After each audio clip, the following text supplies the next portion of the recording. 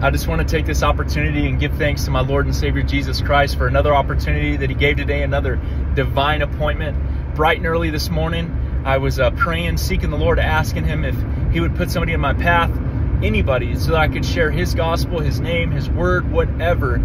Use me, Lord, today for your glory and for your purpose. And He, and he did. And so on my way to work, uh, there was a man stopped on the highway and he was just waving, flagging anybody down. He just needed a jump start. I helped him out. As I was helping him out, I could tell that he was addicted. Long story short, he's been addicted now, he says, for two years. He said he was clean for about seven, I believe he said. And then I guess he lost his wife or his girlfriend and it just, it tanked him. And he's back to doing what he was doing before.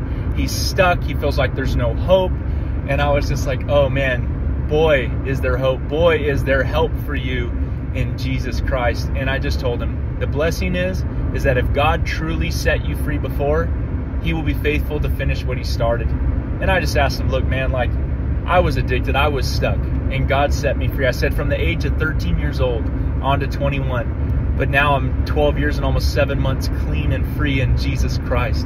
And he's the only one that can do it. So Philippians 1 6, Paul says, being confident of this very thing, that he which began a good work in you is faithful to finish it.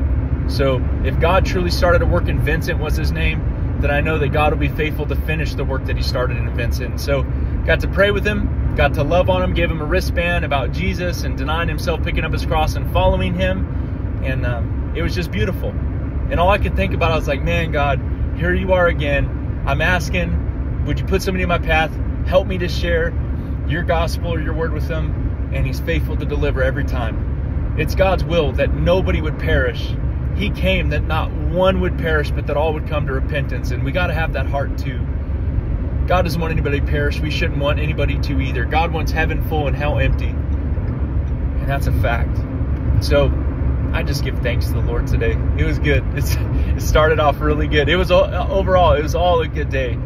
I just wanted to give thanks. It's like another street testimony. So I'm going to call this highway preaching. Highway preaching. God, would you put somebody in my path? The reality is, is are we willing when God does to pull over and give time for that opportunity to share Christ, to share the gospel in His Word wherever we go, wherever we are. So I give thanks to the Lord. I want to share that with you all, my dear brothers and sisters in Jesus Christ. I pray that you are uh, provoked um, to love and to good works. That's what we're called to do uh, to one another. So God bless you. Highway preaching. Jesus is Lord. God bless.